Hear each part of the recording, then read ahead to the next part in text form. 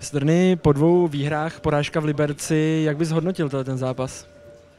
Tak hodnotil bych ho tak, že Liberec dneska jasně dominoval a ten výsledek byl pro nás ještě milosrdný, si myslím 2-1, že vypadá pro nás ještě dobře a měl tam spoustu šancí Liberec a my jenom díky vlastně Denisovi jsme ten výsledek takhle uhráli, že on tam chytil super věci a měli hrozně moc přečíslení Liberec a štěstí, že to nepotrestal. No.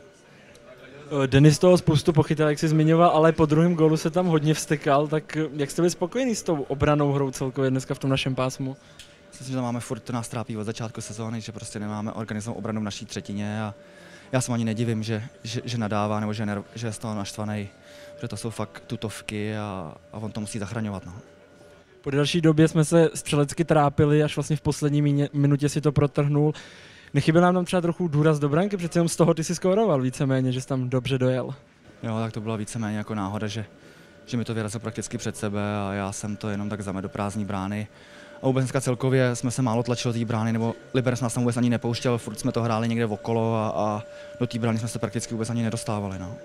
Teď nás čekají v neděli doma Pardubice, což bude hodně zase důležitý zápas, protože Pardubice jsou tým na spodku tabulky, tak jak se na to připravit a poučit se z dneška?